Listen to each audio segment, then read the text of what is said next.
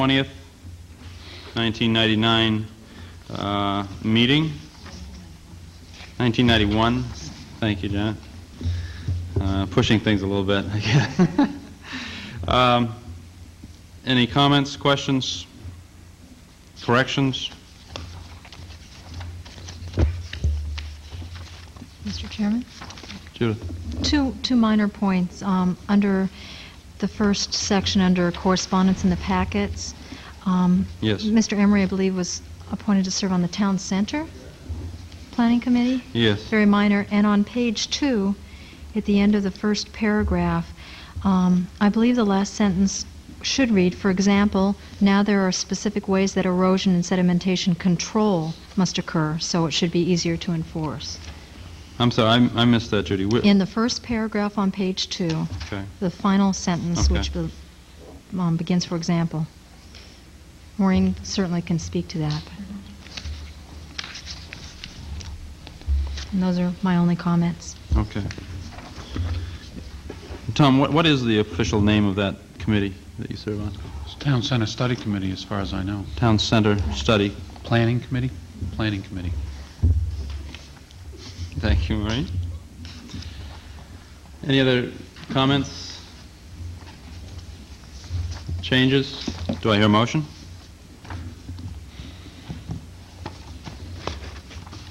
To adopt the minutes Yes. as corrected? Second.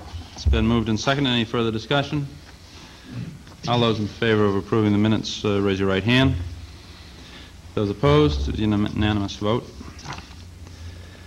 The next two are both workshop, which we generally approve by consensus.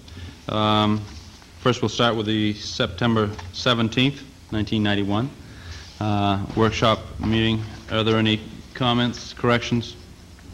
changes. I would only ask that, just for the record in Stonegate 4, um, that it mention that uh, Mr. Etzel recused himself from participating in the discussion, to remain consistent. Anything else? Do I have a consensus? We'll accept those minutes as written by consensus. Also, October 1, 1991, workshop um, dealing with road classifications and standards construction monitoring statement. Any changes?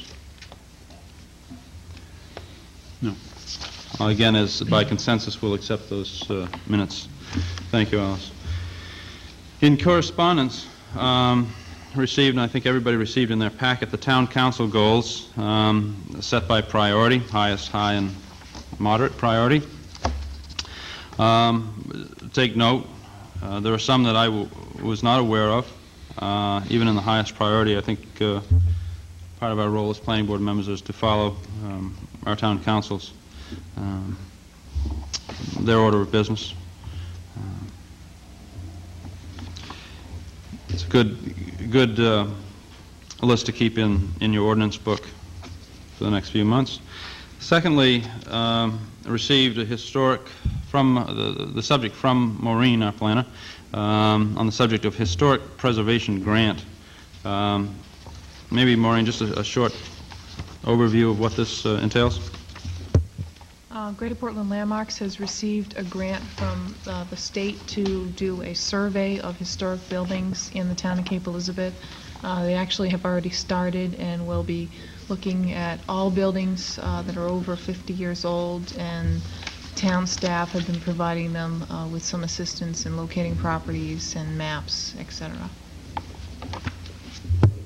Janet? Maureen, who's doing the survey for, for landmarks? Um, It's supervised by the executive director, uh, Martha Duprez, and the woman working on it is uh, Ann Ball. Good. Okay. Next, there was a notice of petition to vacate a portion of Bayview Road and a portion of Wambeck Road uh, in the Shore Acres area. Um, Steve Parkus and I were actually asking Maureen earlier, um, we both had similar notes on the head of this. uh, Is this an issue that comes before the planning board? If you remember, a few months ago, we did have a a street vacation come before this board. Um, Perhaps, Maureen, you can clarify why that's not coming to to the board and and uh, why it's in our packet. Um, State law has changed regarding how you deal with vacating a street. Uh, And what is, what is now required under state law and um, there's, it's, local ordinance are silent on, um, is what planning board activity should happen on this. Um, There's nothing in our local ordinance right now that requires the planning board to handle a vacation in any way. However, it can have a lot of planning consequences. Therefore, this has been forwarded to the planning board by the town manager. Um, If the board has comments that they would like to forward to the council, um, now would be the time to do it. Uh, There will be um, discussion of this vacation at the council's meeting tomorrow night. I would urge anybody um, that has, will that be a public hearing or just discussed by the the council? I'm not sure it's a public hearing. I think it is. Uh, Typically, you have more than one meeting before the council prior to a vacation. Um, I- I- This is of special concern, I think, because we're studying road classification and- and uh, some design issues in town, dealing with our streets and roads and infrastructure. Um, Simply of note, I guess. And lastly, the Environmental Institute Conference brochure, which is the the last, I did not read this, I'm- I read everything else. Um, Evidently on Friday, October 18th. Uh, There is a conference of note to all planning board members. Any other correspondence? Okay, we'll move to old business, and uh, before the planning board tonight, under old business, uh, Spurwink Woods subdivision, request by Edward V. Drynan to extend the time per- uh, period for preliminary subdivision plan review of a 27-lot subdivision located in the area of Chevers and Macaulay Road, Section 16-2-4A8. Um, I'd ask uh, that we have a letter from Mr. Drynan in our packet uh, with some, I believe that is, is is all. Um, If Mr. Drynan or a representative would like to come to the podium and address uh, the planning board, um, just briefly, we'd appreciate it. Thank you, Mr. Chairman, members of the board. My name is Edward Drynan. Regarding Spurwink Woods, about six months ago, this board gave approval uh, to mutually extend the review period for a period of six months. That extension was given so that the town council could review two matters uh, at that time under its consideration, the dead-end road ordinance and the sewer availability issue. Since that time, as you know, based largely upon the uh, preparation, workshops, consultations, and reviews by this board, and the recommendation by this board, the town council changed its uh, dead-end road ordinance, allowing it to be uh, no longer 1,000 feet, but 2,000 feet. That's a case where uh, delay of the review process has been uh, of great benefit, uh, both toward the developer and toward the town, and there's no reason why those two goals should be uh, exclusive of one another. Uh, For those of you who are familiar with Spurwink Woods, um, it is a project that could be built with a cut-through road connecting two established neighborhoods, one at Chevers and Mitchell Road, the other at Spurwink Road. The developer did not want to do that, and the two primary abutting neighborhoods did not want to see a cut-through road there. The, uh, this review process, I think, was on the brink of approving the project, but it found it could not because the uh, proposed road was about 1,200 feet long versus the 1,000 feet uh, required in the ordinance. Now we have a 2,000-foot uh, limit, and that's of great benefit to those neighborhoods surrounding this project. Similarly, with the sewer issue, um, the, the facts are that uh, this development could proceed, could go forward with on-site septic disposal. Uh, the facts are that uh, the neighborhoods in that area of town, 100% surrounding this uh, area of land are on public sewer. Uh, the facts are that uh, all of the citizen input regarding this project, uh, whether for or against the development have spoken in favor of having it sewered if it is to be built, rather than unsewered. They did not want septic systems in the midst of an area that was on public sewer. Uh, Those are some of the facts. There are some assumptions, too. Uh, uh, South Portland, uh, with whom we have a contract for the Northern Cape sewer uh, disposal, is under a mandate, as you know, to uh, substantially increase its sewer capacity. The assumption is that Cape Elizabeth will also uh, increase the size of our contract with South Portland when that happens. I think there are other assumptions, too. I think that within a generation from now, uh, we will all be under a mandate to have sewer where available and do away with septic systems, something the town will have to bear the expense of doing should that come. Uh, So I think that uh, in this case, uh, the council is actively considering the sewer availability issue, and that uh, we have nothing to lose as a town and as a developer by a delay in this process. Uh, Deliberations, particularly regarding sewer, before the council will take a long time. That's why I've asked for a 12-month extension. Thank you. Thank you, Mr. Drynan. Um, At at this point in time, I'd like to open it up for a discussion uh, amongst the the board itself. Questions and comments? Janet? Yes, I'd just like to review the bidding. When was Mr. Drynan's application first, uh, wh- when did we start the process of extensions, I guess, is what I'd like to know. Maureen, perhaps you can, uh, a couple things. Give us some, the historical background, where we are, where we left off. Also, um, perhaps on a preliminary basis, give us what, what the, uh, the options, some of it is outlined in our memo from yourself, but perhaps give us a- an outline of, of uh, how we approach this. Uh, The last time that the board made a substantive review of the Spurwink Woods application was at the July 1990 meeting. I see that, but Um, when was the, when, when did the process start? Was it in 89? I couldn't tell you for sure. I know that the application was deemed to be complete in the early spring of 1990, and then a public hearing was held the following month. So I would assume that it was submitted either the very beginning of 1990 or very late 1989. Uh, Just, uh, sorry to interrupt, but maybe perhaps just on a Mr. brief Drynan may mo- yeah. insert here, you you can, I recollect uh, a long time ago, you came in with two or three different options and set them up in the chairs. Do you remember what time that was? That was in 1989, and the, the, the process started in late 89. And uh, for many months, as you recall, perhaps, Mr. Etzel, we talked about uh, road options before we sent it on the actual project itself. We decided upon a single dead-end road. I, I remember we talked a lot about a lot of options and, and fairly persistently urging you to pick one option in that process. Janet?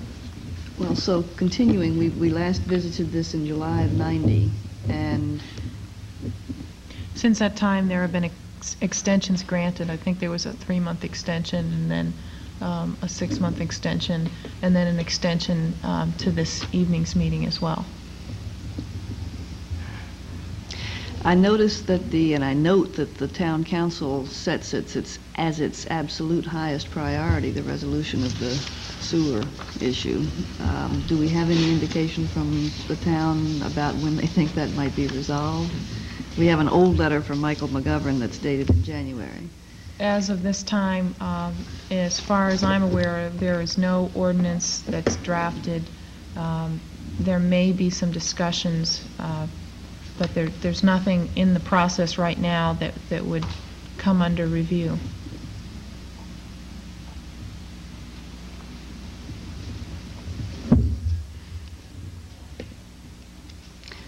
I don't mean to ask Mr. Drynan to come back more often than is necessary, but my, uh, my sense is that a year is a long time to ask for yet another extension, but perhaps it's warranted under the circumstances. I'd like to hear what somebody else has to say. Any other board members comment on, on the length of time? Tom? It seemed to, excuse me, it seemed to me that if the council's been deliberating on this since the beginning of the year, that a reasonable amount of time might be more like six months. And if nothing else, uh, Mr. Drynan could come back and touch base with us in six months. And if it's indeed the sewer issue that's holding it up, I don't have any agenda about his coming in before or after the sewer issue. I just think that the board ought to check in on the project more often than in 12 months. Any other comments? I have a concern, Mr. Drynan was ex- explaining how certain, um, the evolution of of some of our ordinances are a benefit to both the developer and to the town and to to planners. Um, There are other drawbacks to extending uh, an application that has a start date uh, of years previous, um, that where you get to a point where you don't remember under which ordinances and, and their original state at the time of original application, which I guess would have been um, one of the last two quarters, uh, or the last half of 1989. Um, I just urge this board, if, if we go back to that process, uh, and it will, it takes another six months after we start up, we're still making decisions about uh, ordinance that were in effect two and a half, three years ago, uh, potentially. There are, there are going to be changes. Um, I'm concerned that, I I guess it would be, uh, I I would be most favorable looking at, at uh, perhaps a short extension with the, um, with the condition that there will be absolutely no further um, extensions at that time. Um, I guess I'm interested to see what the feedback from, from other board members are, um, to to just putting a, a time limit to this. Mr. Chairman, may I? Yes, Mr. speak. Um, I think that a, uh, a short extension uh, may not accomplish uh, the goal of, an, of any extension. I'd be very willing to uh, put an extension into effect that would uh, demand uh, uh, the final resolution of this, say, two months after the council makes a decision, one way or the other on sewer. I- I'm not sure that that's a precedent I would like to start the uh, method of handling um, extensions. Um, I think that the board just simply needs to come to some type of resolution. When do we uh, stop giving extensions? When does it not make sense with no further progress, you know, simply waiting for um, council's um, uh, completion um, and take it some, with a hope for a different uh, um, finding or different ruling uh, than is at present, um, applying to the issue of the sewer system. Um, I understand that there is, there is a benefit to, to the applicant um, and, and applicants in general. Uh, I'm just saying there are drawbacks and uh, problems that, that uh, surround this process if we continuously um, extend uh, applications that are before us. Judy? Um, I think in general, I would agree with Janet and favor a shorter extension. Um, I think I would be hesitant, however, to say six months and absolutely no extension, because um, for all you know, at eight months, the council has made its decision, and we would have appreciated that. Um, I think it might be wise for the planning board to, if we grant a shorter extension, do that with the understanding that we might be looking at a suggested ordinance amendment that would be um, hard and fast, that there may be possibly one six-month extension and period. If that comes and goes, then an approval lapses. I'm very concerned with, um, and I don't know the history of your project, so I'm certainly not speaking to this, but in the past, there have been developers in other towns when they know ordinance changes are coming, such as a wetland ordinance, which is very restrictive and can certainly um, restrict the, the rewards they will get from their project. Everyone files and gets in under that gun, and yet, when we don't have an end to it, then that can be dragged out and dragged out. So it seems to me that developments, and again, not speaking to you, get a lot of the benefits, whereas the town doesn't. Not all developers are um, trying to do things in the town's benefit. Um, So on this project in particular, I think I would um, favor whether it's three-month or a six-month extension with no um, further understanding that it will not, a further one will not be granted, but with the caution to the developer that come six months, the board may choose not to grant another extension, which I think is within our right, and we might also have a better um, hard and fast rule for all developers at that point. I, I guess I see the extension and the issue of the sewer tied very closely together. Otherwise, we would have forced the issue longer ago. Uh, And if indeed that's what the developer is waiting for, um, the developer, to a certain extent, also has his hands tied. Um, It would just seem to me that six months seems like a reasonable time frame, so he's not hanging out there for a year and we forget all about him.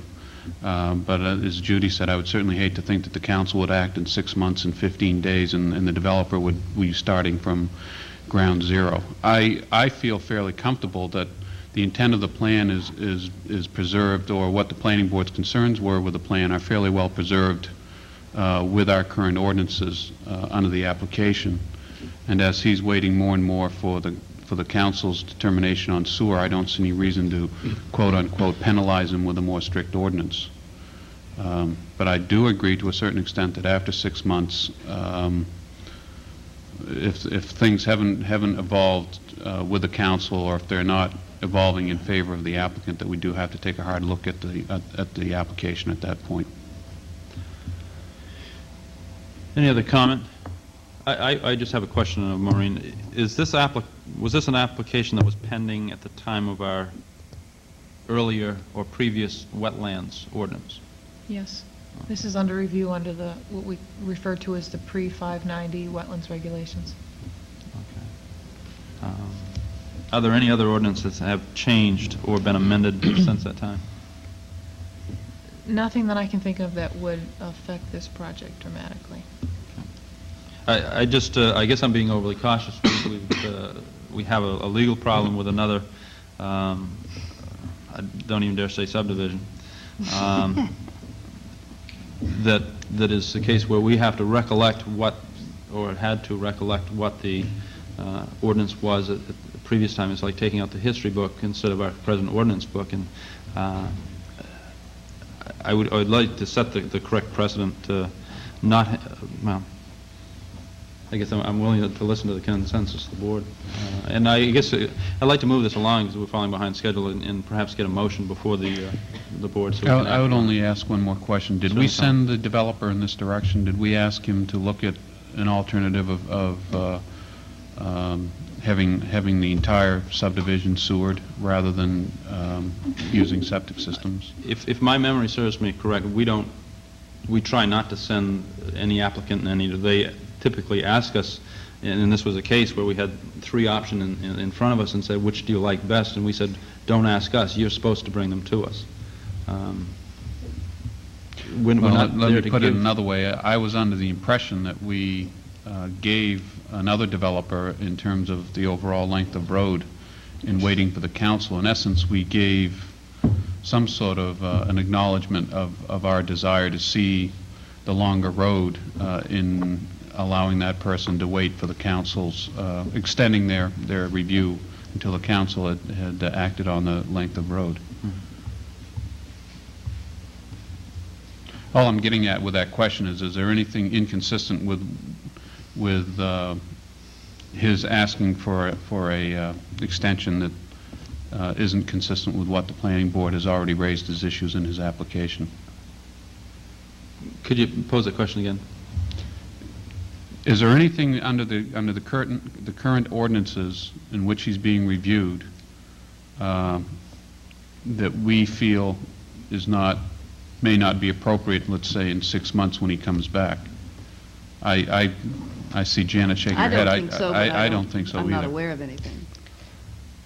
Yeah, I- I, ahead. I think Mr. Etzel's point is a good one, Mhm. but I think applying that to this particular It's not. situation, we've, uh, I guess I'd like to ask Mr. Drynan if he would be willing to mutually agree to a six-month extension, which would be to the regular meeting in April of 1992. Yes, I would, and, and I have two reasons for doing that. One, I, I, uh, I, uh, I know this council, if it uh, tags uh, something with a label of a highest, uh, absolute highest priority, I believe it will take action.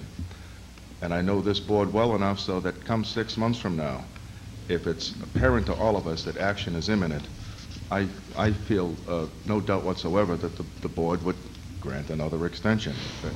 And I think that that would be uh, not a guess- a I matter subject to interpretation then. My reading of the board would be that they, that the board might be very reluctant to grant you another six-month extension at that point. But if we were talking about a 30-day extension or a 60-day extension, that We're talking about imminent action by the council at uh, six months from now. I'd like to uh, uh, move, be it ordered that based on the request of the applicant, the application of Edward B. Drynan for preliminary subdivision plan review of Spurwink Woods, a 27-lot major subdivision located off Cheverus and Macaulay Roads, be tabled to the regular April 1992 Planning Board meeting with the mutual agreement of both the applicant and the Planning Board and with the understanding, uh, I know, period, with the Planning Board, period.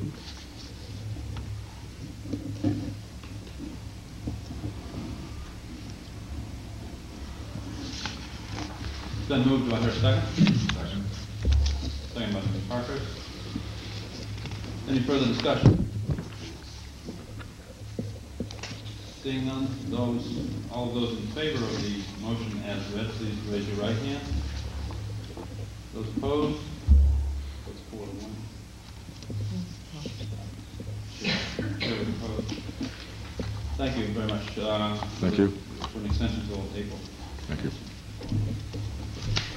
The next order of business, under new business, is the construction monitoring uh, amendment, amendment to section 16-2-6 of the subdivision ordinance, which no longer, which would no longer require the development construction monitor, sorry, require the development construction monitor to be in the employ of the project design engineer and adds the, the requirement that the construction monitor be approved by the town manager, section nineteen four nine. I believe that this, uh, will also hold a public hearing. Uh, I would just initially like to uh, open up for discussion, uh, the planning board briefly, if there are any questions, uh, and then we'll hold uh, whatever public hearing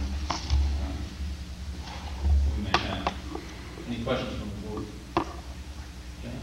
I don't know whether this would be in order or not. I unfortunately had to miss the last workshop at the last minute, and I was not able to hear what uh, Town Manager McGovern said with respect to this. Is there a way that we could Sure. encapsulate that in I 25 think words or less, that's or? Maureen's here, and you could just give us a little update on it. Um, Right now, the ordinance requires that um, the- a development plan is prepared by a design engineer.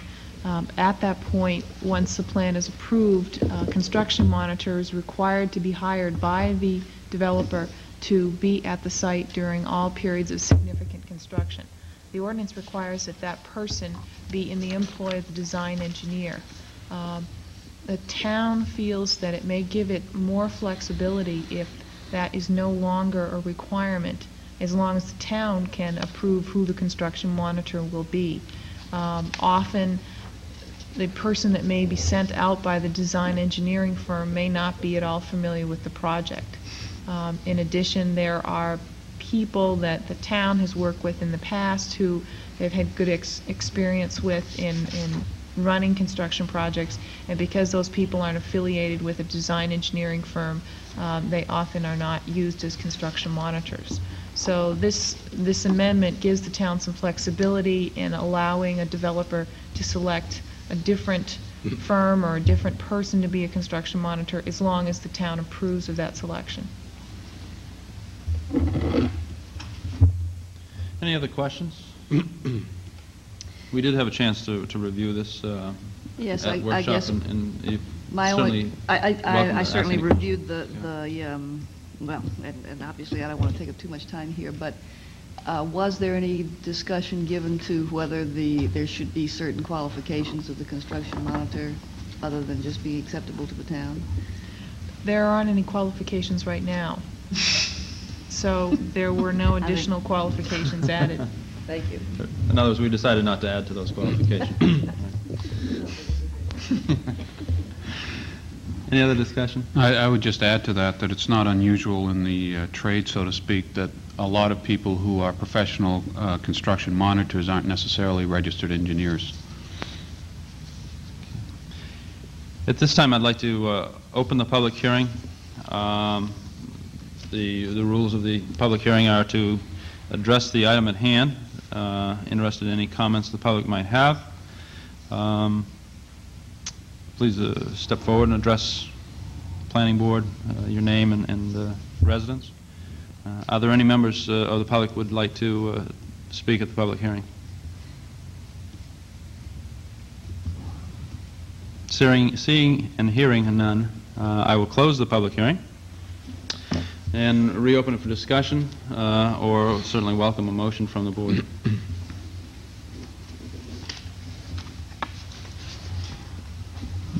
One quick question. Um, Certainly, Steve. Can we um, modify this any further, or is this it- its final form right here? Maureen? Certainly, any amendments to the text in front of you can be added.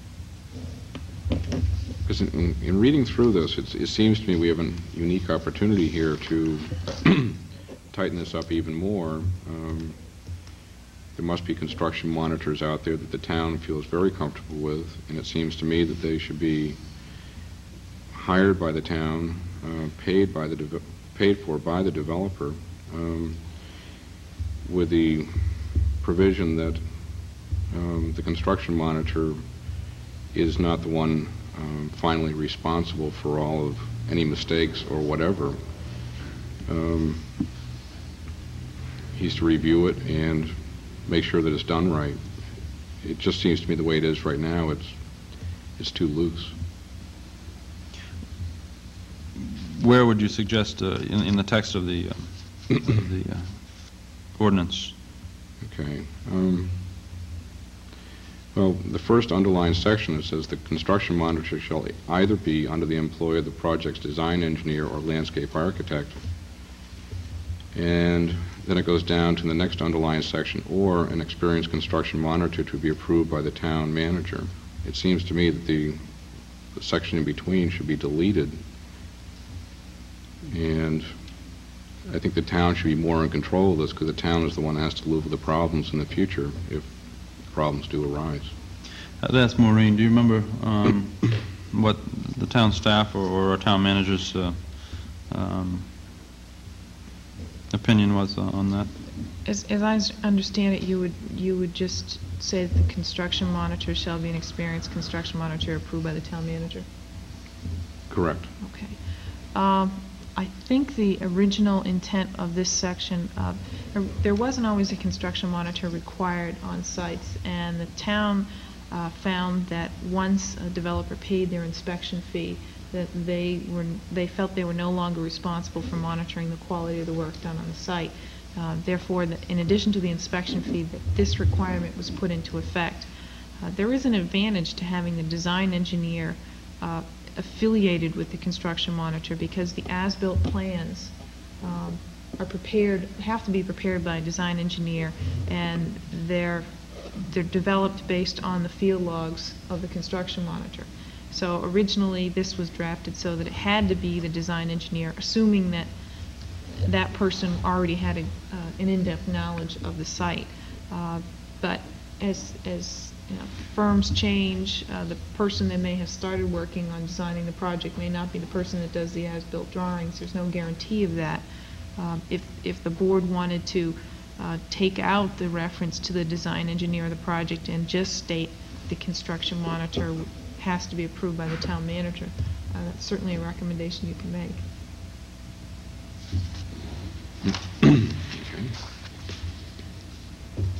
Judy? I'd just like to ask Tom Emery if he would like to comment on that being in that field. It might be some Um, valuable insight. I would only, I- let me just say, uh, I want, I wanted to be perfectly upfront here. Uh, I am currently retained on a time-to-time basis to come monitor some, or answer questions on site, but I don't feel there's any conflict between what's going on behind, behind Town Hall and what this is, because this is a full-time monitor. Uh, But I just want that on the record. Uh, It seems to me that what, in the first two underlined sections, we're talking about uh, shall be employed by either the design engineer or landscape architect, or the con- construction uh, by the owner during construction. Then there's a comma, or it says, or an experienced construction monitor approved by the town manager. It doesn't say who that construction manager is employed by, so I I think that's where the confusion lies.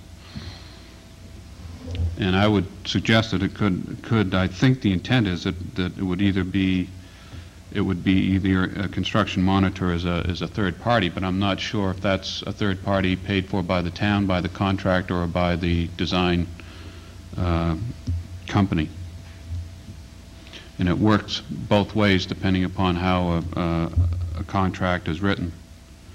But I know in most of our construction work, we would not be, uh, during construction administration, we would not be developing field notes of sufficient detail to do as-built drawings. We would go to the contractor's site engineer, the person responsible for laying out the work and, and field checking the work. They would provide us with the information from their field books, and we would incorporate it into our drawings. Uh, But most of that work is involved in architecture and, and uh, mechanical engineering. It can be a little different in, in civil engineering. I, I don't think that the language is too loose. There's nothing, nothing here that's is damaging to the town that I can see. I, I think it's well covered. Uh, From what the town manager said at our last meeting, I think that the only, what this is trying to address is that neither, neither, it is not necessary that the construction monitor be employed by the design engineering firm uh, during, um, uh, during the time that the project was in the design phases. Um, But I'm not real clear on whether it's also saying that the uh, construction monitor, it it is, it does say that it could be employed during, uh, during the contractor, or, excuse me, by the owner during construction.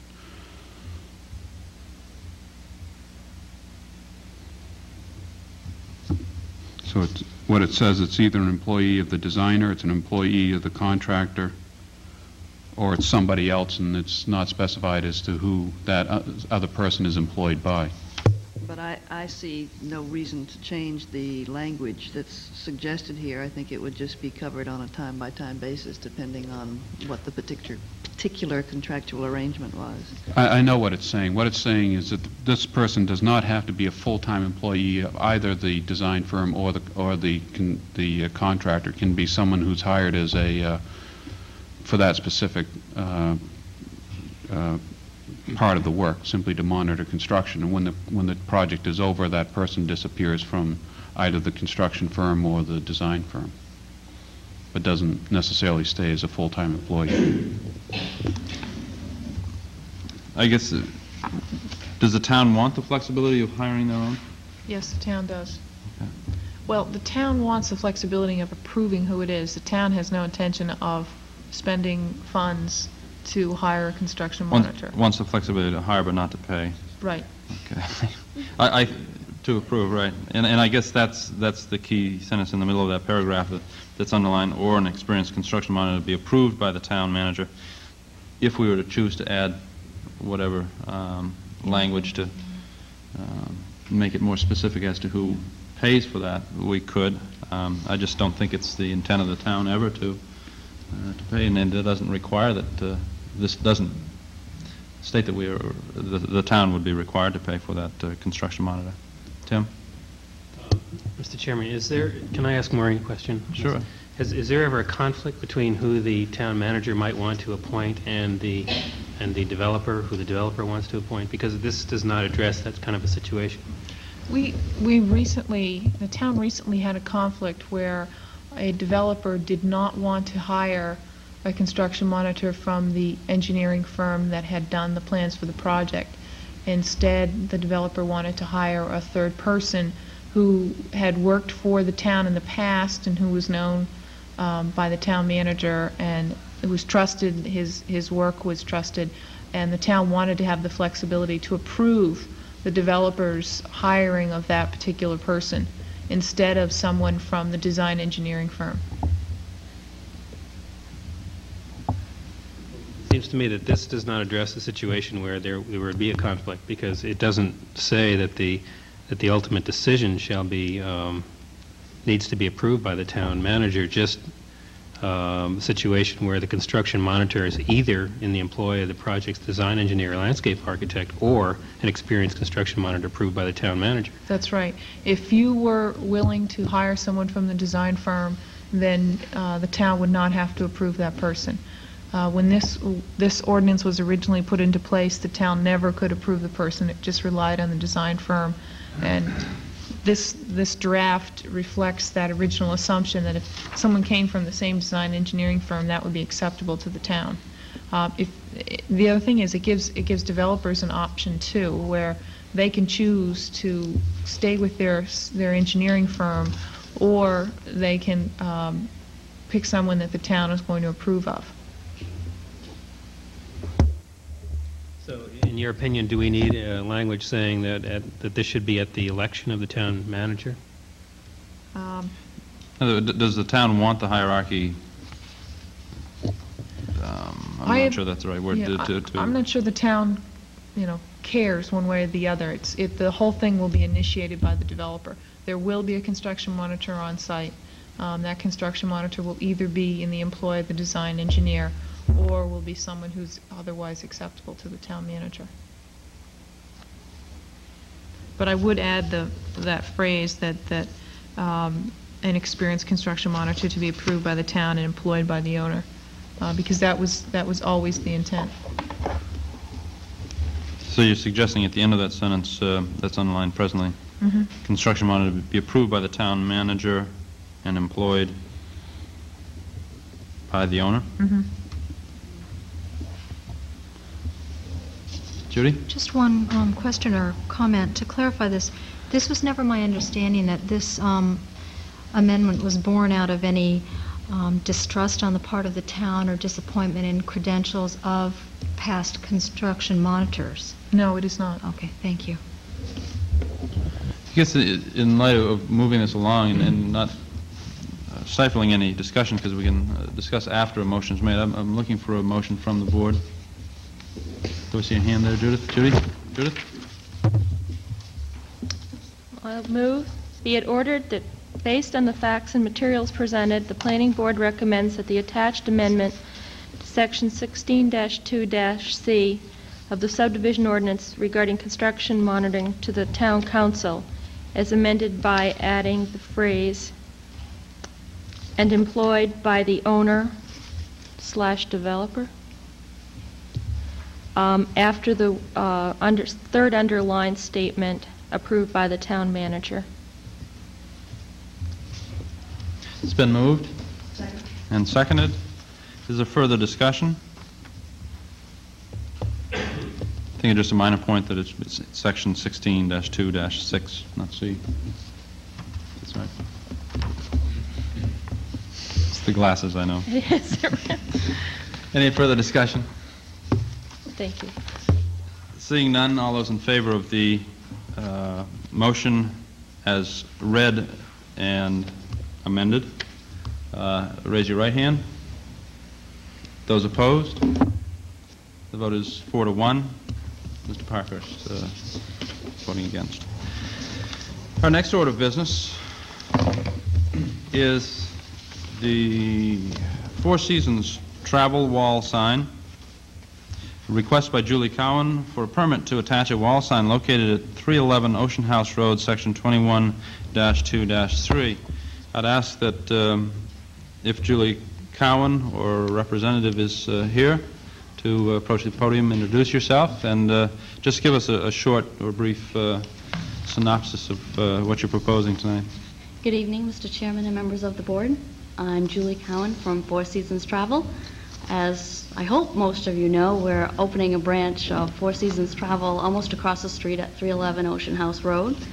And we would like to um, have our name put up as a wall sign utilizing this type of letters, which will be painted green, with just our name, Four Seasons Travel, attached to the building, in addition to the sign that we already have. I'll be glad to answer any questions you might have. Thank you. Are there any questions uh, from the board? No questions. Seems to be a very straightforward uh, request tonight. Seeing none, do I hear a motion? Tom? Yeah, excuse me, let me ask a question first. Are you in relation to Bob Cowan in- Yes. from South Portland? Yes. Um, uh, Just for the record, uh, Bob Cowan uh, was in an arrangement with a past client of ours, so there's no longer any any business relationship, so I don't believe there's any conflict. Okay. Uh, Be it ordered that, based on the plans and materials submitted and the facts submitted, the request by Julie Cowan of Four Seasons Travel for a wall sign to be placed on the building at 311 Ocean House Road is granted. It has been moved. Do I hear a second? Second and twice. Is there any further discussion? Seeing none, all those in favor of the motion as read, please raise your right hand. Those opposed, it's a unanimous vote, finally. Thank you very Thank much. you very much. That was very quick. Uh, He's my father-in-law. Our next order of business under new business is the Tinsman Fitness Center, a request by Thomas Tinsman for site plan review of a conversion of approximately 1,000 square feet of space from office use to a fitness center. This is a site plan completeness uh, issue, section 19-2-9. Ask Mr. Tinsman or representative to approach the podium. Uh, Just give us a real brief uh, description of what you're proposing and then we'll have questions. Thank you. Good evening. Uh, The proposal you have... I take it you're Mr. Tinsman? Oh, I'm sorry. Yes, my name's Tom Tinsman. I'm the owner of ERA Tom Tinsman Associates at 349 Ocean House Road. Cape- Good evening. Good evening. Um, Before you, you have a request for a fitness facility for the first floor level of the office building that I own at 349 Ocean House Road. And a couple of things that I'd like to point out is, number one, my request is for a very small-scale type of fitness facility, one that will encompass just under a 1,000 square feet of office space, uh, current office space. Uh, The reason for doing this is is twofold. Uh, One is that it's existing space that uh, can better be utilized, I think, as a fitness center, something that I've heard a lot of feedback from the town people um, being interested in such a facility. Uh, Currently, there isn't anything in Cape Elizabeth uh, such as this that that does benefit the town people of Cape Elizabeth. Um, I plan to merely renovate existing space. I don't plan on doing any exterior changes to the building. Uh, You should be able to drive by the building and not even notice that there's another use going on there other than signage, which I would like to address in just a second. Um, Also, in the fall of 1989, I was before this board for a site plan review on the office building itself. I converted what was a single-family home into an office building, um, which it was zoned for at that time. And during that site plan review, uh, the board, and and I noticed that there- some members have changed, but did a site walk on the property to get a better feel for the property. Um, At that time, we addressed issues uh, of the site plan review, such as parking, signage, lighting, um, and all the other different things that that we cover in a site plan review. And a lot of the, and I- and I can't really think of any other differences between this site plan review and that one in terms of those issues that we covered. Uh, The parking issue uh, for the building was covered at that time. It is the same requirements under this use as it was for that use. Um, As you see in some of the uh, material that I provided you with, we actually have more parking in the facility than is required by the amount of square footage that has been and will be used in the building. The signage um, that we currently have at the property would not be changing. Um, The panels in the sign would change just to read something different, uh, but I'm aware that, in talking with the uh, building inspector, that it is, um, the the sign is by the codes, and there won't be any changing to the footprint or the size of the sign. The idea behind the fitness facility is to serve Cape Elizabeth residents only. It is going to be a small-scale facility and will not be one that draws people from other areas to come to this area to use. It will be mainly a convenient stop for people uh, already on their way by, possibly dropping children off at school or going to the shopping center or or doing errands. It will be a facility with limited membership. Unfortunately, it will be a small facility, so that we will have to put a cap on the number of people that we will be able to service by the facility. And I would even be open to, if the board saw fit, to limit that to Cape Elizabeth residents to ensure that. As part of the comprehensive plan, there, there is an encouragement for community services programs, uh, which this also would fit into, to work in conjunction with community services to develop programs on fitness and health. There would also be a personal trainer on staff who um, would be uh, running the facility. And I also see this uh, facility creating jobs for local people on on a part-time basis. I would ask, in, in going over some of the requirements for the um, proposal, that um, I've seen a number of items that are basically the responsibility of the building inspector, um, and I would ask that anything that, that is required by the building inspector to inspect for giving permits, um, you certainly have to live by all those codes to, to get these things, but uh, I I guess we can talk about that in a minute on the, on the checklist itself. Um, Such as electrical codes, plumbing codes, fire codes, and things like that. Um, And one final point, since it is an existing building with no exterior changes and, and no other requirements outside, um, I would like to talk to you about some of the items on the checklist to see if it would be feasible to ask for exceptions on, on some of the items that are normally asked for in a, in a site plan review. Okay, thank you very much. Um, Just remind the board that thi- this is, um, the issue before us right now is- is um, um, a matter of completeness, not, at this point in time, not here to talk about uh, the technical merit of uh, the the applicant or the application. Um, I- I guess I might ask Maureen if, if, do you want to work down through the the checklist? Um, and then urge the board to ask questions as we go through there, or through those. Um, I'll be working off of attachment one. Um, Starting with number one, um, I have identified that um, there have been no building elevation or facade plans submitted. The applicant has stated that there will be no exterior changes to the structure, but that is um, a requirement of of the site plan review submission. Um, Skipping down through, um, I don't know if any of the board members have any questions with any items up to um, item nine on attachment one. Um, Item nine is topography of existing and propo- proposed contours at five-foot intervals, uh, and that has not been submitted. Um, The town engineer's comments are included as attachment two. Uh, This does uh, typically, if, if contours are not submitted, an applicant can provide spot elevations at, at, at key points on the site to show that drainage, um, how it's flowing. The town engineer is familiar with this site and doesn't seem to have um, any concerns with any additional topography or elevation information.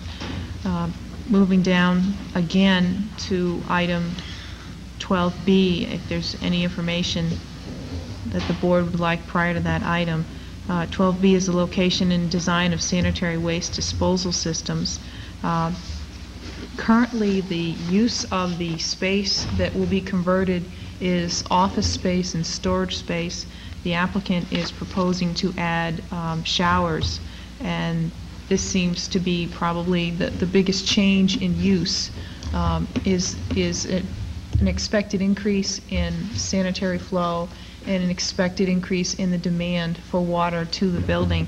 So um, that's the, the basis for 12B and 12C, where uh, 12B, the town engineer has requested some additional sanitary waste generation information be submitted, however, the applicant is served by sewer.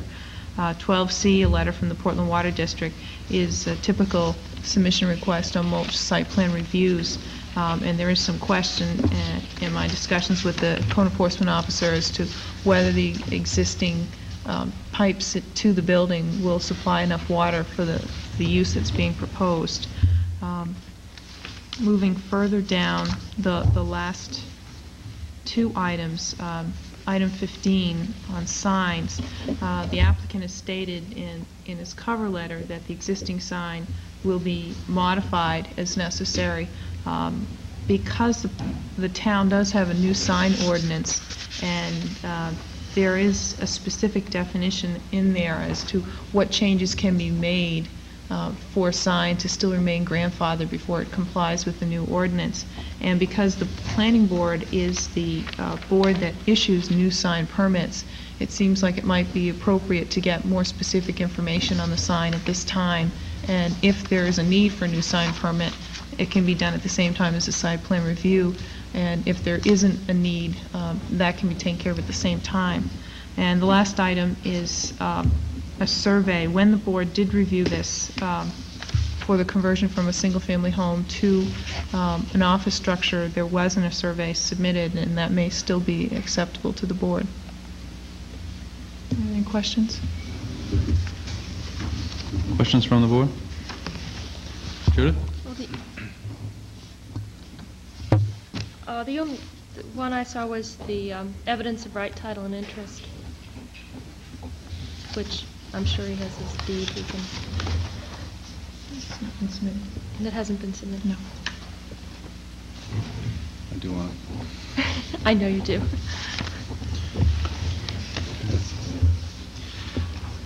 Other questions? Start with Janet. Well, I, based on what I've been presented with, have uh, just the, the four questions, and perhaps the applicant could address those four in particular. Mr. Tinsman, I'm, I guess I'm concerned about 12B, which is the sanitary waste disposal system information. 12C, I'd like to see a letter from the Portland Water District saying something that would be acceptable to the board. I'd like to hear from you about number 15, which is signs, and I'd like to see some evidence of uh, ownership of the property, which is 16. Judy? I was just going to ask um, Maureen or um, Mr. Tinsman by default if any of the elevations, the topography information with contour or spot elevations, or information on, I guess the water supply wouldn't matter to me now based on what Janet asked for, if that was submitted in the 1989 um, package and if it hadn't, that hadn't No, been before. No. Um, I I checked the 1980 package, the the 89 package, and you're pretty much working with with the same site plan that was approved in in 1989. Okay, thank you. Mr. Tom? Chairman, I certainly uh, would hope that if there's a deed and there's somebody who's drawn this plan that we have in front of us, that they could check the uh, description of the deed against what's drawn as a property line um, description on this, on this plan, at least giving, give us the bearings, and I think it would give you a little better sense of uh, feeling about, you know, where everything is in the universe. Um, I hate to say it, but oftentimes when, when surveys are actually laid out, people assume what's on a plan is correct, and then when the survey is done, somebody finds out that they don't own land that they thought they owned. Uh, And I always think it's a good policy, as a minimum requirement on a site plan application, is to have a- a- the boundary survey done, which is normally provided as part of the real estate transaction required by the bank, so I don't think it's an onerous uh, requirement on a, on a relatively small application. Uh, I know this isn't a substantive review of the application, but it it will get to sort of the, I guess, the questions I have in terms of the magnitude of the project. How many people have you projected that you would have using the facility and at what times of day? I would think that the hours of ownership uh, open um, would probably be from 6 in the morning till 9 at night. And the real estate business would continue uh, upstairs? Yes. Um, I I guess from that standpoint, and and under what use did you calculate the requirement for parking? Under what use? Yes, you, you've taken the total square footage of the building. Is there, I mean, I know that the ordinance is quite vague, but um, did you consider it all office, or the- or was there any other use that, uh, clearly a recreational use isn't the same as an office use? No, the, uh, the requirements for both an office space and a recreational facility is the same. It's both one- 250. One space per 250 uh, square feet. Okay. And I didn't back out any space for closets, uh, hallways, stairways. It was the outside print of the Mhm. building, all inclusive, Okay. every, every square inch. And um, are you, uh, do you have both showers and restrooms proposed? Well, currently, when I bought the building, there was a upstairs bathroom that had a shower tub combination. It's never been used uh, since we bought the building. Um, What I am proposing is to put in two showers and, and two toilets um, for men and women. And that's downstairs? Yes. Um, And currently, there's uh, a bath and a half in the main building.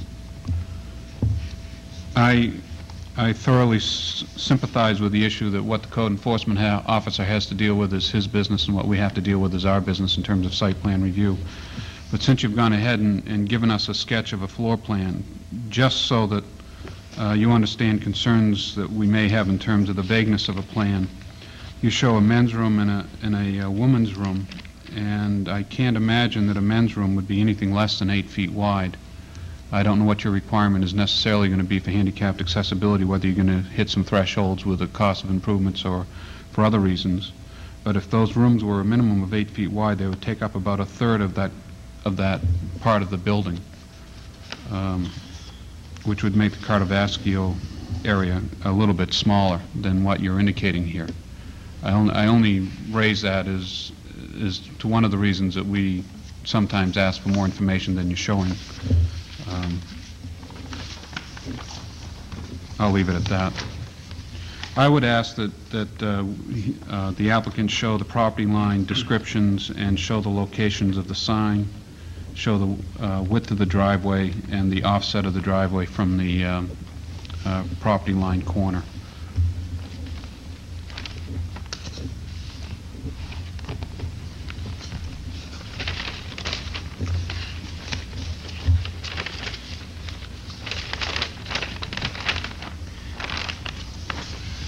Any other questions or uh, reminding the board that we're, we're we're uh, on the completeness issue?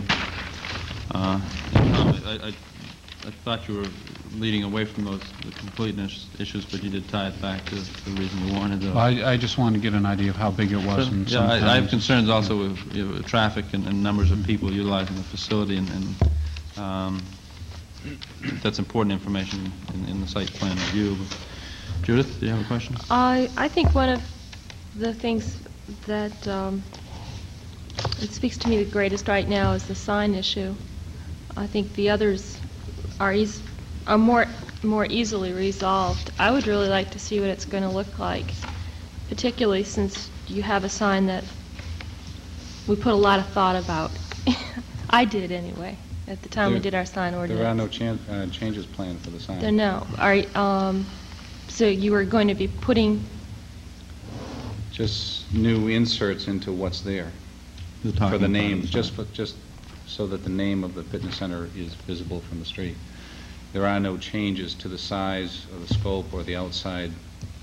I I wasn't sure whether you were going to put them up in, put it up in letters, you know, like in your, No, the, the top part of the sign will stay the same format that it is. and then the, and there'll be another strip? No, nothing added. Uh, well, you mean in I mean, print? A print, a strip, Yes. a permanent Tom's Gym, whatever. That's, that's, I like that. You like that? I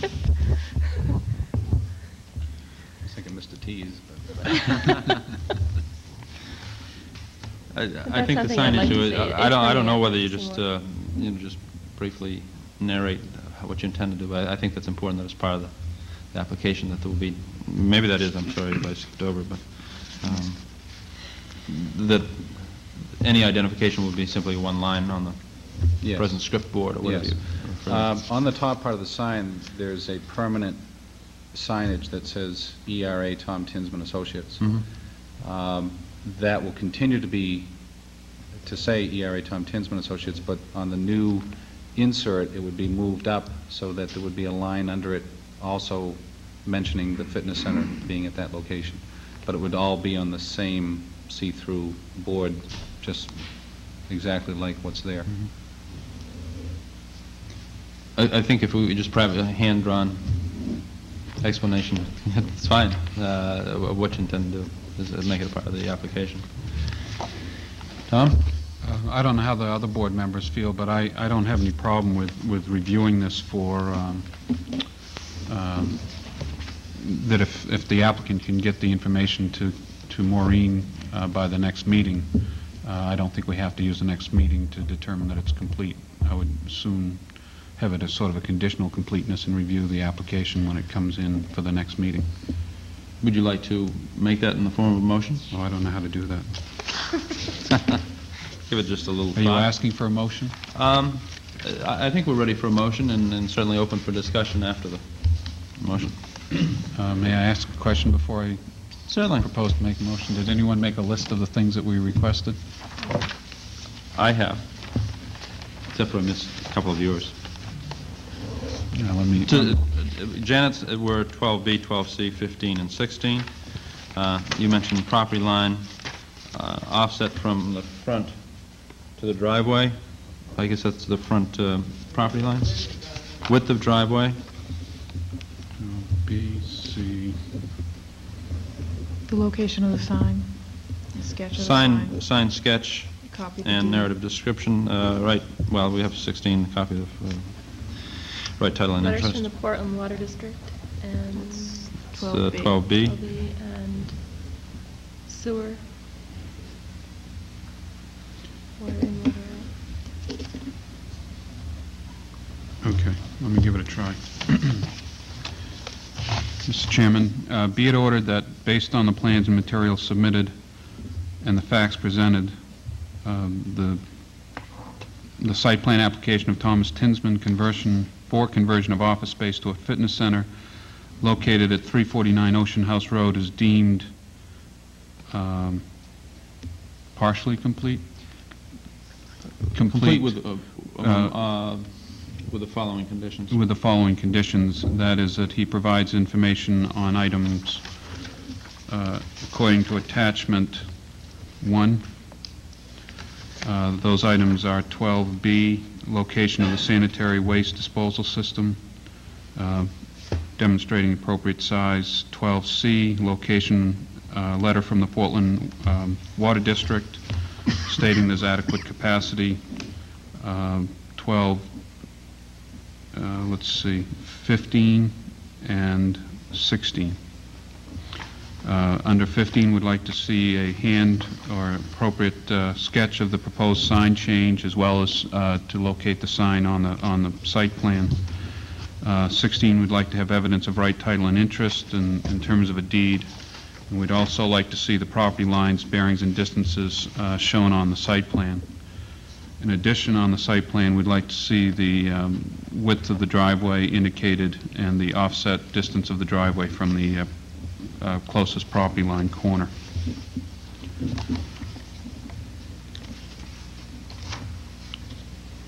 Shall I continue reading, or is that parenthetical? Um, A a public hearing? We, we can deal with the, the public hearing after the Okay. motion, Maureen? Would you, No, this is fine. it's been moved and seconded. Is there further discussion?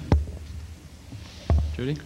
Um, I'm not sure if you mentioned it, Tom, or meant to include, but did you want any requirements for either spot elevations or contours on the plan? Um, I don't feel that it's necessary, given what the- town engineer has stated. My other question to you is when you've asked for more boundary information, are you actually asking for metes and bounds? Yes. If that is not in um, Mr. Tinsman's deed description, I would favor waiving that. We have had two houses in town, neither of which have had metes and bounds, and it would have been horrendous for us to acquire those. Hmm. I- If it required a survey of his property, I'd hate to put him to that expense, if it's not readily Uh, available. Let me put it in perspective. Um, There are projects in town, residential scale projects, not, not new, big residential projects, but there are smaller projects in town uh, where people are putting in tennis courts or swimming pools or other things where property line descriptions are required. And unless there's something extremely unusual, I just, I, I can't imagine that an applicant can't come up with a, a metes and bounds description for a piece of property that's located on one of the main streets in town. I, I- I don't know where else you start with a, with a uh, site plan if you don't have the, the appropriate boundaries. Didn't didn't I give you a description of the, the property? I thought that was in the package. Of the what? Uh, us the dimension of the rectangle. What's, In our packet is, is not the legal description of the property. Oh, it is? my understanding what's No. being asked for is actually the, not only the length of the lots, but you would have to have the, um, like, um... Can I ask you, Susan, this this is what you're looking for?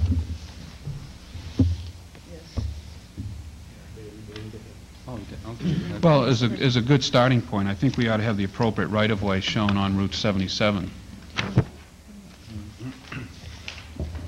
I take my comment back since that's available. Okay.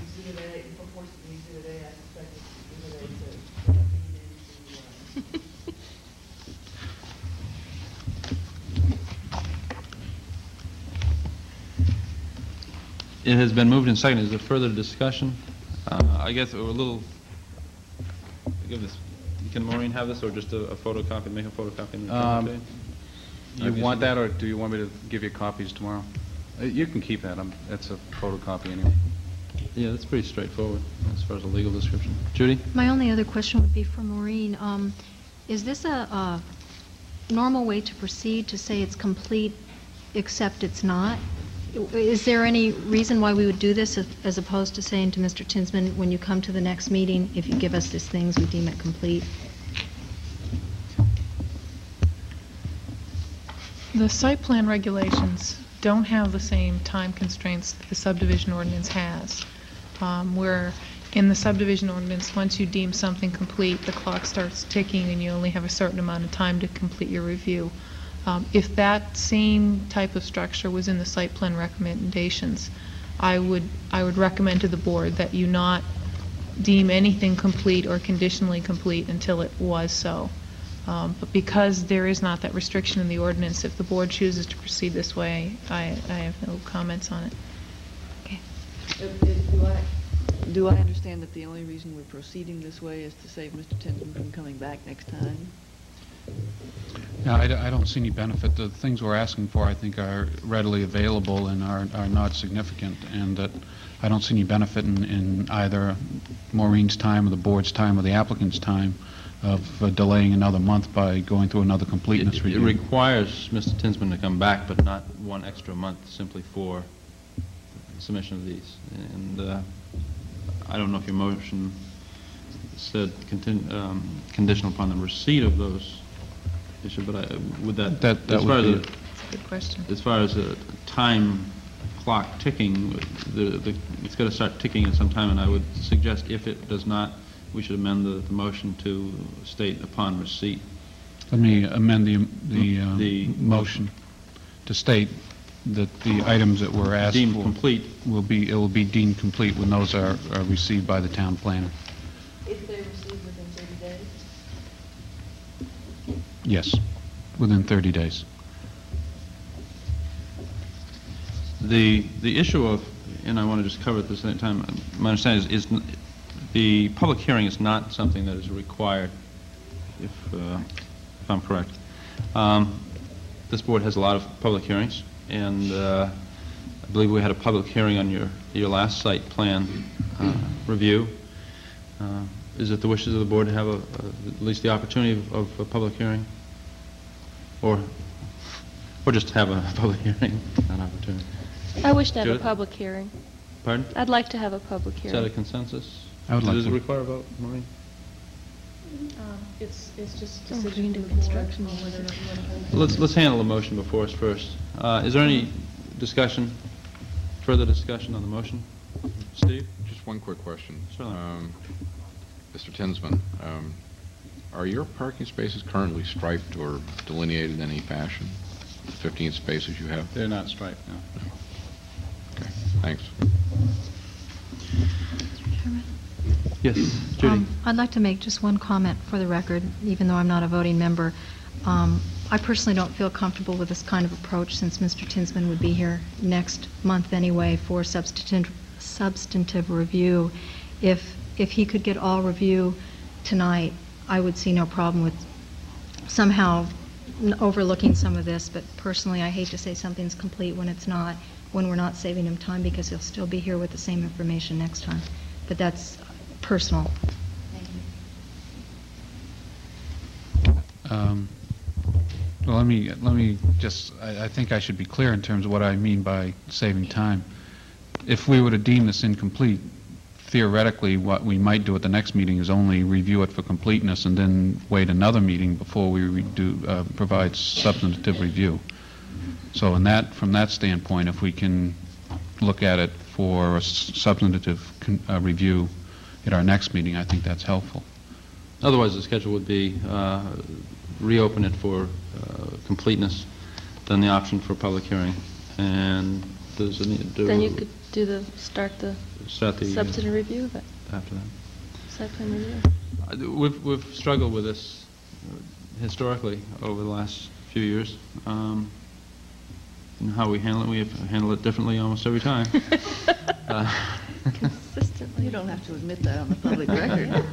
Oh, we have. Well, I don't think you should feel bad about that or No. anything. I mean, site plans are, uh, tend to be quite variable in their complexity depending upon the project type. I don't feel bad. Okay, I knew you wouldn't. Any further discussion? One comment. It has Oh. nothing to do with the motion. Uh, Mr. Tinsman mentioned that he was going to restrict this to town uh, citizens in order to, to um, keep the uh, number of people using the facility uh, low, or I I think he mentioned that he would consider restricting it to to consider. towns. I would only add a comment that I think it would be that people who work uh, in the town and for the town and for the school department should also be included on that list of people to be considered as members. Yeah, well, that, that's a good point. I, I didn't really want to sound like I was trying to make an exclusive type of facility, only that I would entertain that idea if the town wanted to put limits on membership. Uh, But we plan on putting limits on the membership anyway, and I, and I would like to see it benefit the people of Cape Elizabeth And- and the people that work in the town. And one other thing for the record, you did mention Community Services Program. This isn't in any way sanctioned by Community Service or hasn't been coordinated through Community Services and adjunct to whatever they're providing for I've, I've services. only talked with Sue Weatherby in the past about this type of facility as well as what it could expand to in the future. Uh, Last year, Community Services sponsored a program uh, with Skip Robinson, who's a well-known local bodybuilder, and it was called a Smart Body Program, and it was designed to give people of all ages the ability to work out and have a program designed for them specifically.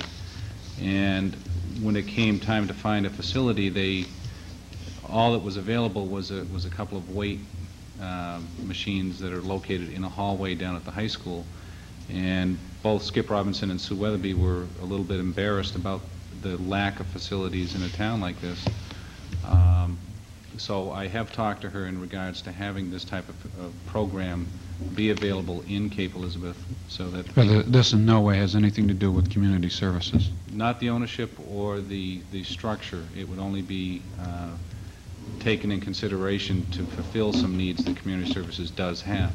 And we would encourage the use and the, the timing of programs by community services to use the facility, as well as the athletic teams. Um, We're interested in putting together programs for the different coaches um, in the, in the Cape school system to put programs together for the athletes, um, as well as the Lifeline programs, and uh, so that we hit people of all ages uh, to make sure that everybody can benefit from a program like this.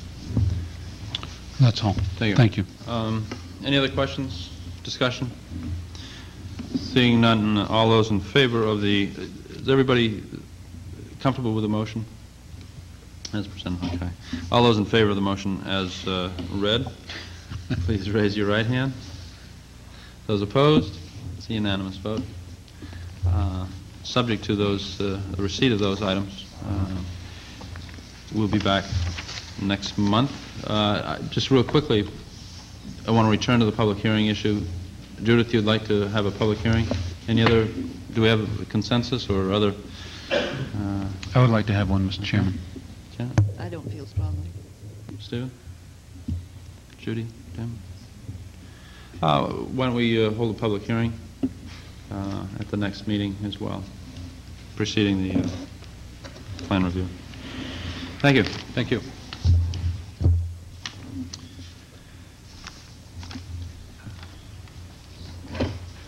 I show the last order of business tonight, uh, road classification, discussion of the classification of town roads as either arterial, feeder, or minor, section 19-3-1B.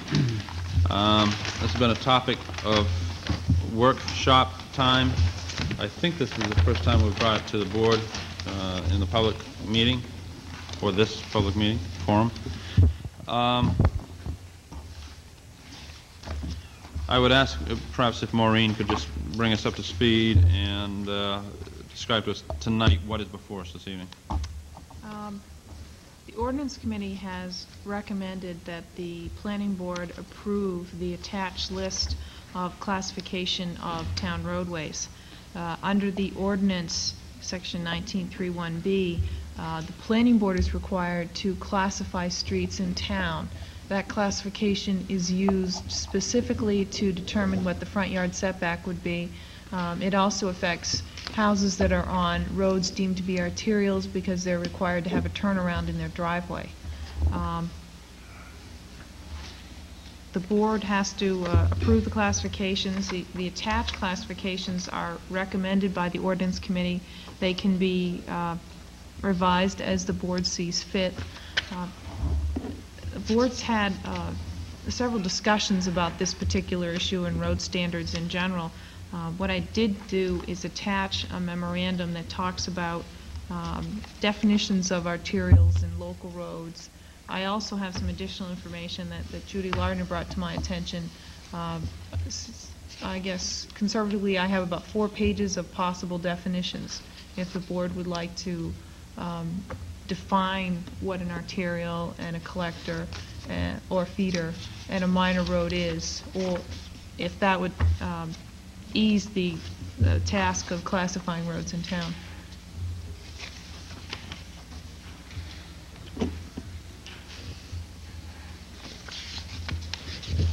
Any questions? I I guess I just, this evening's discussion centers primarily around the uh, attachment one, those roads uh, that have been um, presented to us by the ordinance committee and and uh, changes recommended. Um, We, by consensus, wanted to bring this to the, to the the public meeting and and discuss it a little bit here, a little bit further. Um, I I guess, Maureen, your, your question was partially, do we need further definition? Uh, Does the board feel comfortable about the, the recommendations? You have questions, comments? Tom? Uh, Just as a comment, I'd like to put this in perspective, at least from our workshop discussions, and it's in the workshop minutes, I'm certain, is that the uh, issue with this was this, um, the fact that these uh, reclassification, this re- reclassification request has been before the board for some time now, and that the board generally felt that given the fact that most of these roads were being downgraded from a higher classification to a lower classification, um, that we wouldn't necessarily have to have the long uh, sort of analytical process that we may use in reclassifying other roads in town or all roads in town. Therefore, the board felt it would be appropriate to uh, uh, approve many of these uh, proposed changes. Um, Aside from that, I do have a particular concern about one of the the changes uh, proposed on the list, and that's Fickett Street, from a, uh, from a um, upgrade from a minor to a feeder. And I say that because I think perhaps Fickett Street, uh, from a planning standpoint, uh, on a map may seem like a a potential feeder road. Uh, The fact that when it connects into South Portland, it still remains windy, curvy, and tree-lined is much more of a minor road in terms of what I would classify a minor road as being. Um, And I'm not personally aware of the traffic volumes on it or the frequency of traffic.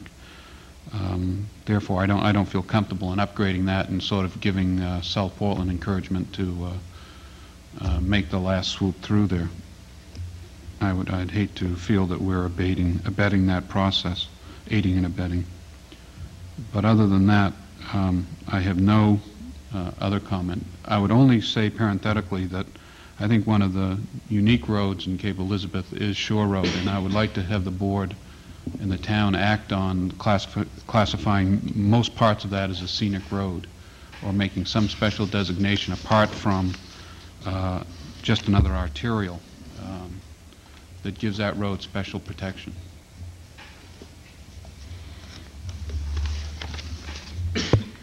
I certainly agree with Mr. Emery's uh, comments with respect to Shore Road. Um,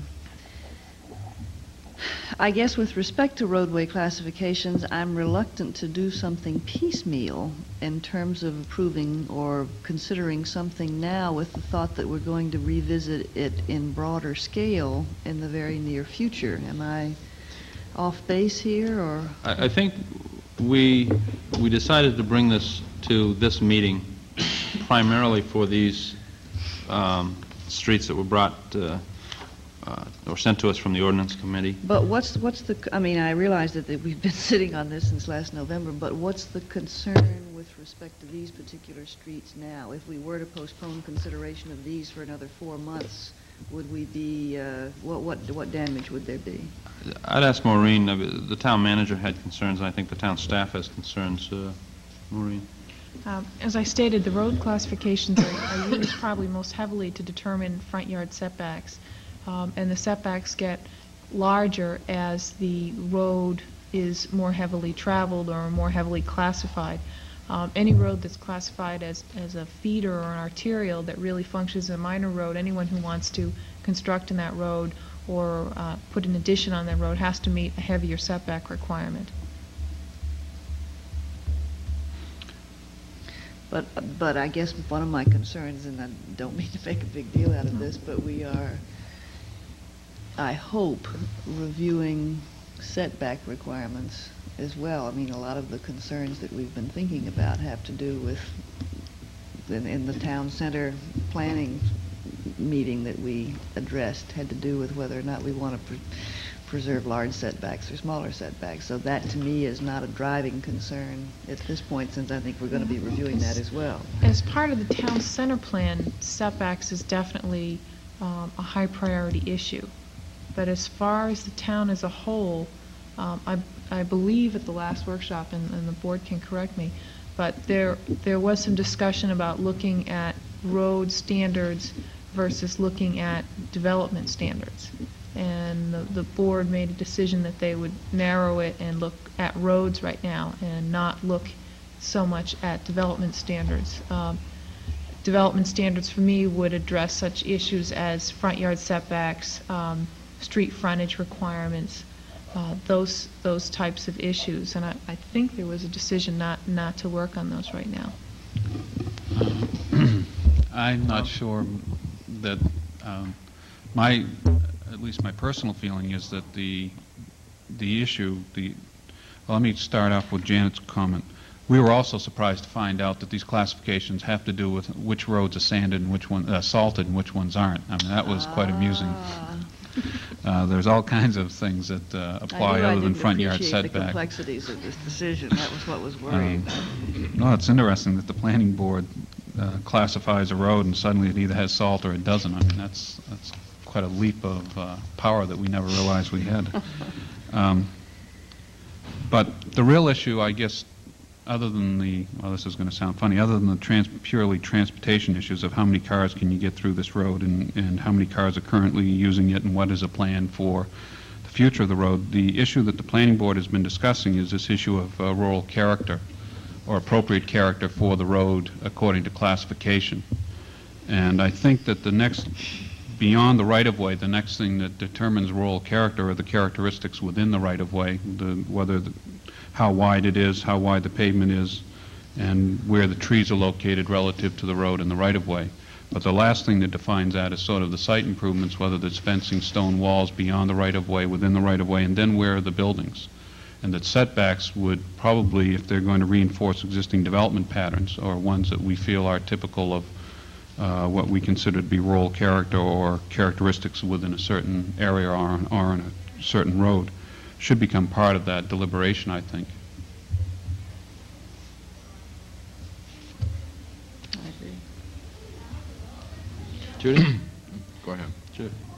Um, I won't go into all I have to say about this right now, but... um, Oh, come on. No, I will eventually. Talking to Maureen today, she um, made me think one thing about this, is by our putting this off, um, it's not as if the roadways are not classified. They are classified according to this list we see. Um, I took a long drive today, and I have a lot of problems with this entire list. Um, But I, I feel comfortable going ahead and taking some sort of action with the understanding that we will go further with this, if only to um, more carefully hone our definitions of these types of roads. I mean, if we didn't even get into the roadway standards, I would feel comfortable with this. Um, I think I'll stop right there and get into it. I, I just, just because I'm glancing down the, the table here and, and and I don't know which, when you say we have a problem with this, this list, are you looking at the, the, uh, it's not numbered, but the, uh, It's attachment one or well, draft? we have attachment one, which is, is a list of seven streets. Right. I, I have a problem, I think, one, with that list. I have numerous problems with what I understand is the classification of all roadways in town.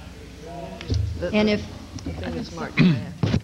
and the mhm. reason Yeah. why, It's page two of attachment one. I think if we take action on those seven, if we do not speak to the rest of the list, we are giving kind of a silent consent that we agree with that. I, I feel that, because we're saying we've looked at this, and um, sure, these seven are inaccurate. I, I personally would feel like that by casting that vote. Um, I would at least like to discuss it briefly before we take a vote, the entire list.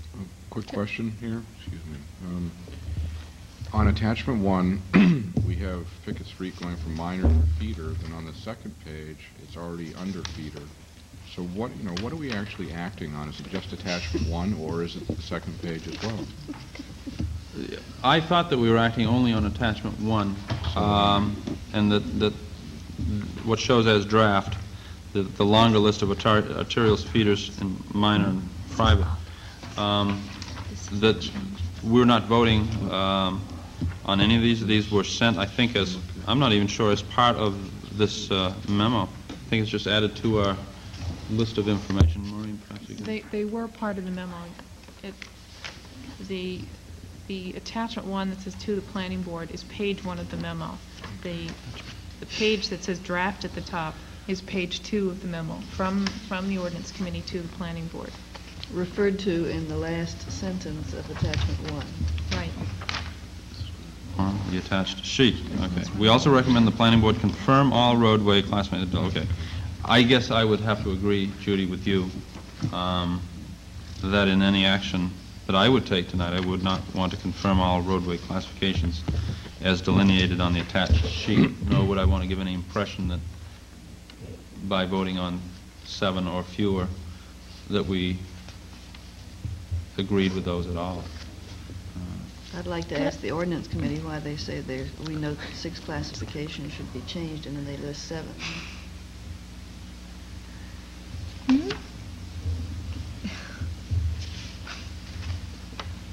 Um, uh, You don't really want to ask them that. Yes, No, I s- do. Why what- what- not? Had nothing to do with this.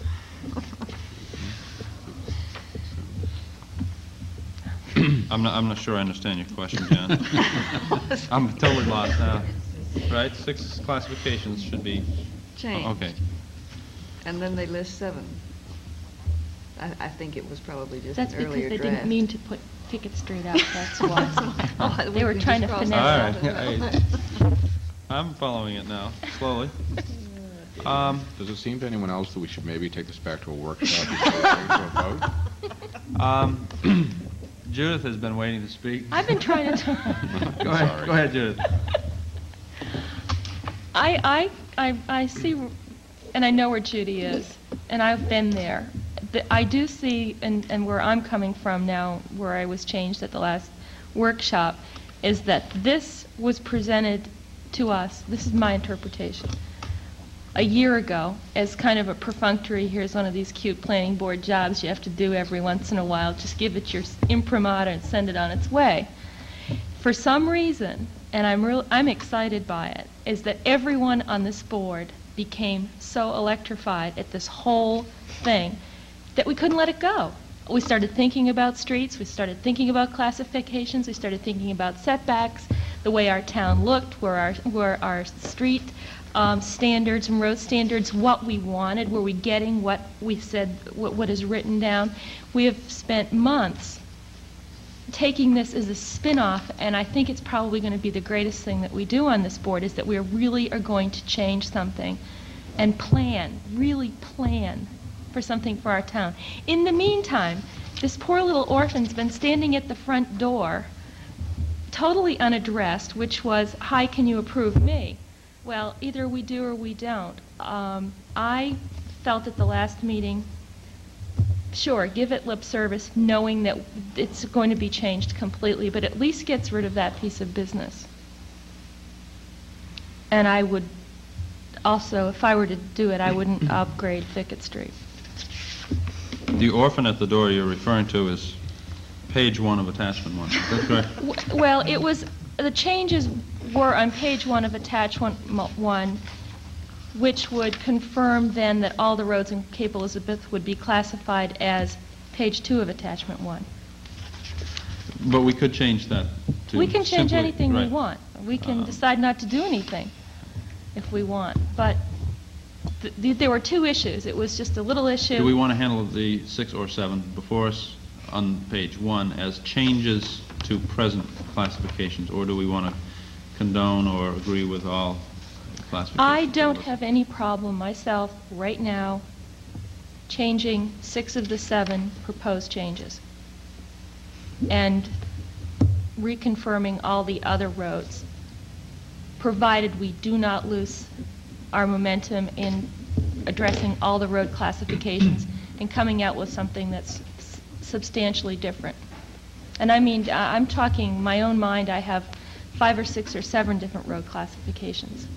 We've got three, four, at this, something different. Okay, Can I clarify one more thing? Sure. Are we going to be acting just on attachment one or on both pages? I, I think perhaps the best thing is, to form some type of, after a short amount of discussion, some type of motion, um, that we either, either take action on a limited number of these, on all of them, or none of them this evening. I mean, this is a continuing um, uh, item of, of, of our workshop study, and we, we intend to, hopefully with all the enthusiasm that Judith mentions, um, look into the road classification of all the roads in town and um, road standards. Tom? Mr. Chairman, uh, by only taking action on the first page, we in essence take action on the second page. But I think that's a giant leap if we formally turn to the second page and agree and disagree with what's there. As far as I'm concerned, I don't see the second page. In the workshop, we discussed the first page, and that's, that's what I've come to uh, this meeting prepared to act on. I, I don't want to bless or, uh, the second page is just, it's just ver- a very complicated issue, and uh, I just don't want to get involved in that unless anyone's going to lobby to uh, uh, make uh, Shore Road a a scenic road and develop a classification at this meeting that describes a scenic road. Mr. Chairman, I don't, I- from my sense of the board, I don't think anyone particularly is interested in addressing the second page of the attachment. I think with respect to the first page, that I, for one, would like to see us postpone, um, I I- would like to see us act on attachment one tonight, uh, on on these seven that are presented on attachment one by determining that we, that it makes most sense to postpone the decision until we have a chance to fully implement the road classification system. I really don't like the idea of, of, uh, there are plenty of orphans that I don't feed because I don't have enough resources to go around. So it troubles me not in the least to have one more orphan that has to wait for another couple months.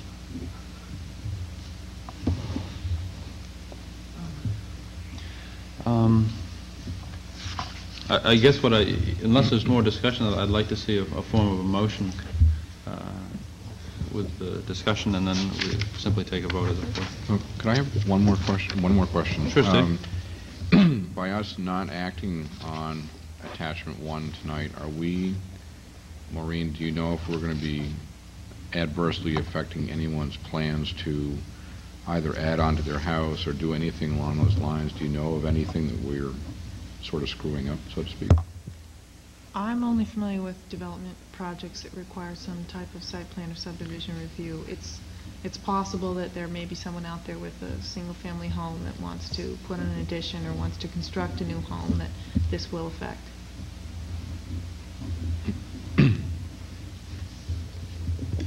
Okay, well, in in that case, um, could I make a motion? Most certainly. Okay. Um, Be it ordered that, based on the materials submitted and the facts presented, the planning board adopts the attached road classifications as amended on attachment one, with the exception of number four, which is Fickett Street from minor to feeder. That's it. It's been moved. Do I hear a second? Second. And it's been second. Is there further discussion? Judith? I would amend the amendment because I don't think it's clear whether it's, he's approving the changes or the new list of all roads. To change the word to, from the attached road classifications to reclassifications.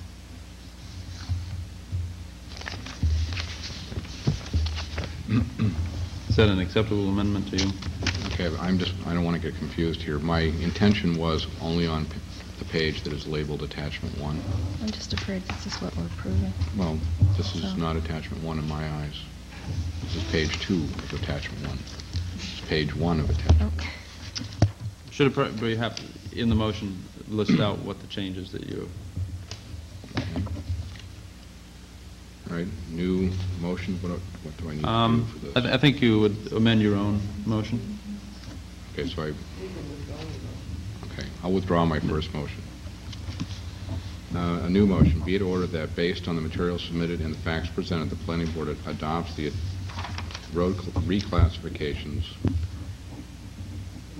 as follows. Number one, Columbus Road from feeder to minor. Number two, Phillip Road from feeder to minor. Number three, Dearborn Drive from feeder to minor. Number five, Waben Road from feeder to minor. Number, excuse me, that was number, that was number four. Mm-hmm. From feeder to minor. Number five, Wambeck Road from feeder to minor. And number six, Wheeler Road from arterial to feeder.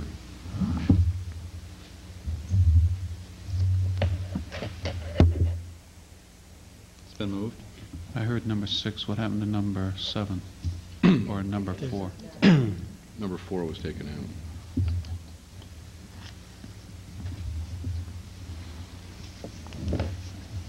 Do we take it out, or we simply state that it remains the same? I- I think by omission, it it would remain the same. Maureen, is it presently uh, classified? Fickett, Fickett, Fickett. Fickett it shows as a feeder. Yeah, Fickett is the one street on here that appears to already have been reclassified. Uh, If, if the board feels strongly that Fickett should be a minor street, you may just want to include in your list I- I think- Fickett to be a minor street. I I think it would make the motion clearer if we use the same numbering system that's on the sheet and, and just stated for the record that Fickett Street would remain a minor street. One more time, Stephen? Or you can Okay, I withdraw my previous motion. Well, um, Present a new no. motion. Maureen's point's well taken. Perhaps we can uh, take that as an amendment. Okay. We'll Amend, okay, excuse me, that will amend the previous motion. Okay, but if you wanted the numbering to stay the same, we have to reword the whole thing. Alice has it. Um, Would you like me to read it back? If you could, please, Maureen. Thanks. Be it ordered that based on the materials submitted and the facts presented, the planning board adopts the road classifications as follows. It would be one, Columbus Road from Feeder to Minor. Two, Phillip Road from Feeder to Minor. Three, Dearborn Drive, that's Phillip Road to Scott Dyer Road, from Feeder to Minor. Four, Fickett Street to remain minor. Five, Waben Road from Feeder to Minor. Uh, Six, Wambeck Road from Feeder to Minor, and that's from Waben to Trundy. And seven, Wheeler Road from arterial to feeder.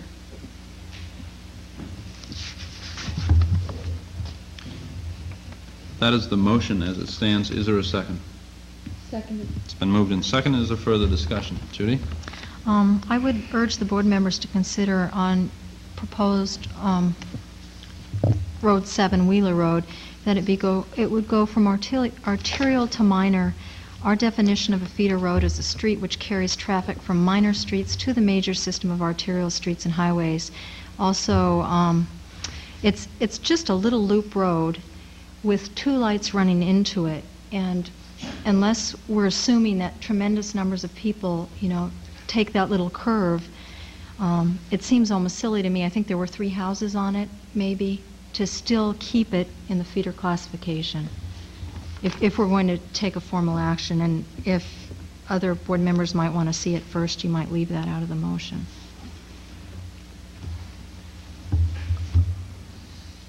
Any discussion? I would agree with that. I guess, uh, having lived down there, um,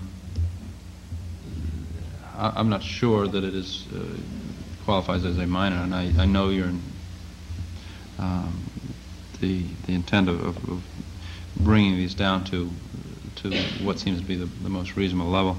Um, I I guess I would look back to what Two Two Lights Road is, um, as a feeder.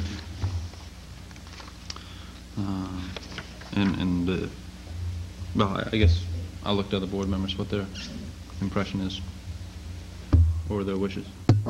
Judy? I- Judith? I, I'm going to offer absolutely nothing, in as much as I could go either way on this. Mm. I think that Wheeler Road was, originally probably was closer to an arterial before they put in the new route, 77 loop. It probably stays in that, even though there are only a few houses, but there, I think that there'd be a, a, a lot of right-bearing traffic, you know, people coming back from Two Lights who maybe wanted to go to the Lobster Shack, who would take Wheeler Road. I'm not sure. As I said, I could go either way on it. I wouldn't. What I, Judy? I might recommend that the board members consider is perhaps dropping that, since we've been told the only um, thing in the ordinance that is tied to these classifications, because the salting versus sanding is not. Um, The town manager can make any decision he wants on that. But if we're talking about setbacks, and that would be a 40-foot setback, if anyone remembers, those houses are like on the road, and a 40-foot setback is not in keeping. That's why I hate to do some of this unless you really understand what your intention is when you say a feeder road. If, if you use the definitions that we have in the ordinance right now and look at the roads under feeders, for instance, I think some of you will want to reclassify.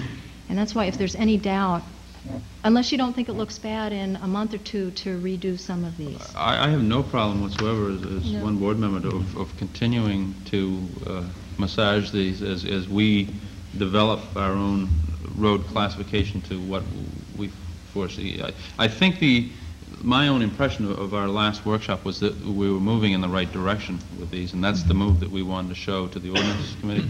If there are further, uh, uh, if there would be further motion in the road classification, uh, I have no problem with, with changing it again uh, in a very short period of time.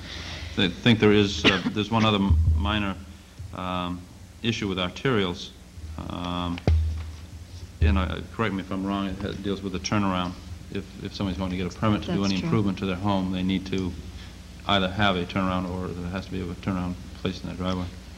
Could I say one thing? Mhm. I- If I'm being viewed as obstructionist is a strong word, I have no problem sending this forward. I'm, I'm prepared tonight to um, make recommendations on the entire list, so I'm not trying to stall this at all, and I'm not asking the board to do that.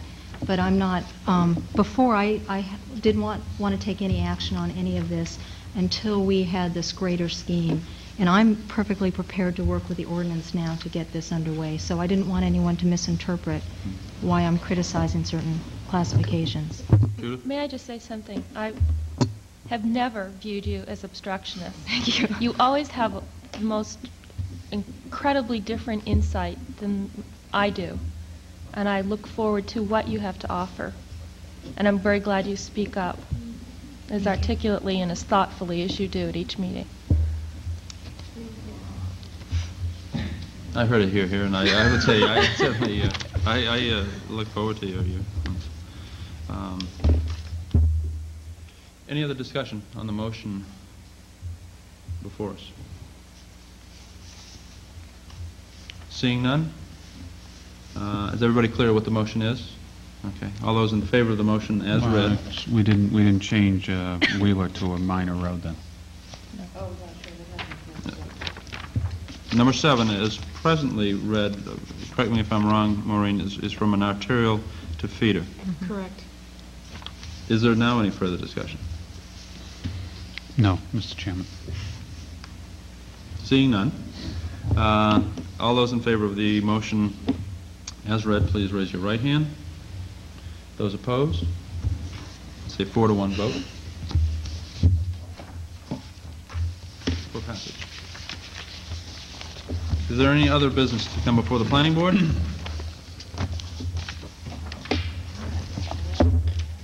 Excellent timing tonight. Uh, seeing none, I uh, formally adjourn the meeting. Thank you very much.